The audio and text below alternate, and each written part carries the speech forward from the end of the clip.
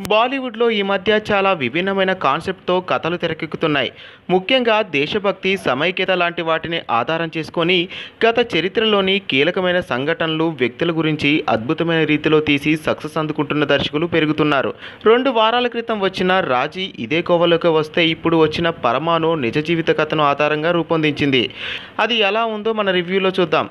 Ashwat Raina John Abraham army officer. Nuclear energy మీద పెట్టుబడి పెడితే దేశ రక్షణకు ఉపయోగపడుతుందని ప్రభుత్వానికి ప్రతిపాదన పెడతాడు. కానీ సరైన స్పందన రాకపోవడంతో నిరాశ కలుగుతుంది.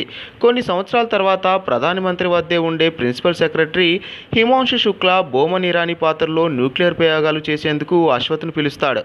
దీనికోసం అశ్వత్ స్వయంగా ఒక టీంను తయారు చేసుకుంటాడు.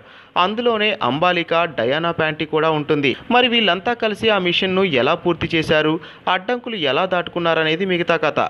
జాన్ అబ్రహాం వరకు మద్రాస్ కేఫ్ తర్వాత అతని కెరీర్లో చెప్పుకోదగ్గ బెస్ట్ మూవీ ఇది.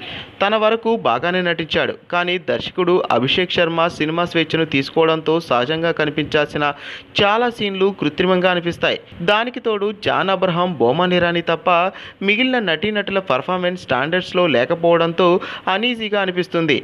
ఇంటర్స్టెల్లార్ లాంటి హాలీవుడ్ సినిమాల నుంచి ఎత్తుకొచ్చిన ప్రీ క్లైమాక్స్ ఎపిసోడ్ తేలిపోయింది. కథను గ్రిప్పింగ్గా చెప్పడానికి అవకాశం ఉన్నా దర్శకుడు వాడుకోలేదు. థ్రిల్ కూడా అనిపించకుండా సినిమా ఫ్లాట్గా వెళ్ళిపోవడం మరో మైనస్. ప్రిపేర్ అయ్యి వెళ్తే ఓకే. ఇలాంటి సినిమాలు అదే పనిగా కోరుకునే ప్రేక్షకులకు కొంతవరకు పర్వాలేదనిపించినా ఫైనల్గా మాత్రం ఇది ఇంకా గొప్పగా తీయసుండొచ్చు కదా అనే ఫీలింగ్ అయితే కలుగుతుంది. చరిత్రలో మనకు అంతగా గుర్తులేని పోఖ్రాన్ గురించి కనీస అవగాహన రావాలంటే మాత్రం పరమాణు చూడొచ్చు. చాలా ఎక్కువ ఆశిస్తే మాత్రం నిరాశ తప్పదు.